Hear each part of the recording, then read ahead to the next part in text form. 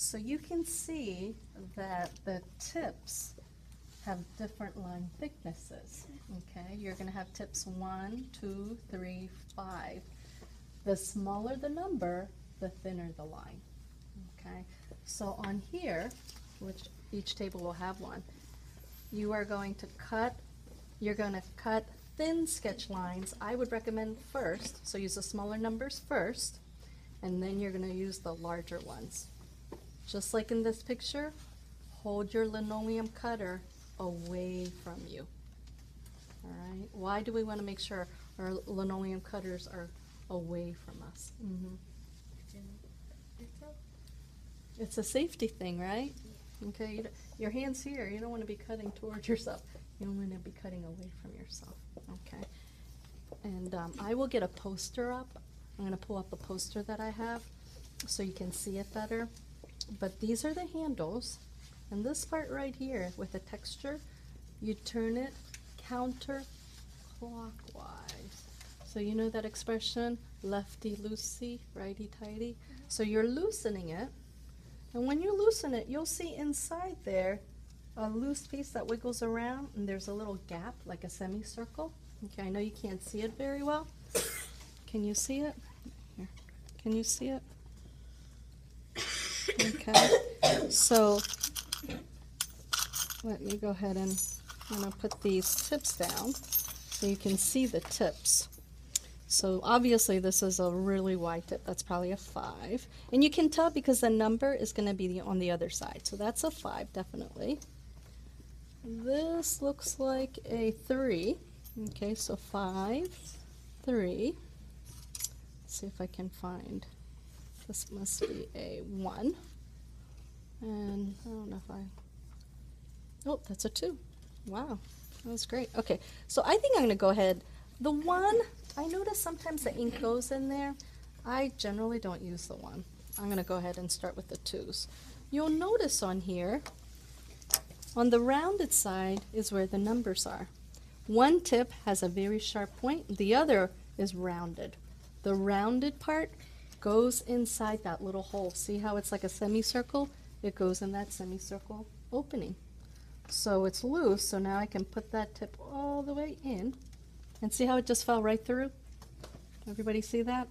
Mm-hmm. I took that out and I put it right through. If you're not sure where it goes, don't force it in. Because if you force it in, you might jam it and it, you know, you might break it. So make sure if you're not sure, come see me and I'll help you with that. What am I gonna have to do before I start using it? Lefty loosey. Then it's tighten it. So what, which way do I turn? Righty tighty. Righty tighty, clockwise. Think about, you know, going to the right like a clock, clockwise. So now as I turn it, I'm tightening it. Until it, you don't have to tighten it to the point where, you know, it hurts your fingers, but it doesn't move anymore. And it's not going to come out because I've tightened it in there. Now, on your, on your uh, EZ Cut plate, what did we say? What are you going to carve, Sam? It's a gray. Anywhere where it's gray. Where you have the black Sharpie lines, you really don't want to carve. Before you start carving on your image, I highly recommend that you use the other side. You can see I've used it a lot. And just kind of practice using the tool. Okay? I'm going to just practice right here. Practice. Hold it. Hold your Cut plate on the bottom. Hold your cutting tool away from you. And practice sliding it away from you. And you're going to have these little scraps that come off. So there's a straight line. See if you can practice also a curve line because you might have some curve lines that you need to do. So who- who knows? What did I do differently that time when I went to do a curve line? Mikey? Uh, yeah, I just kind of slowly, I kept my tool pointing up, but I slowly turned my EZ Cut plate. Okay? And then for short lines, or short textures, okay, all those different kinds of textures, okay, you're going to make different kinds of lines. If you think there's going to be an area where you're going to really cut a lot, you could switch the tips. Okay, so you can see, I'll leave that up on my front table so you can see the variations. And you can practice it on the back. Um, yes? On the back, if Let me like- go over this first, and then I'll take questions. Okay. So I know that I want to carve inside right here between the iris, the white part basically.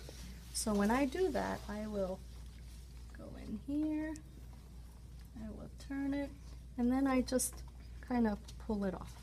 And you're going to start having a pile. If you start having a big pile, this is for everyone at your table to share, to just kind of, you know, it's like a little trash pile.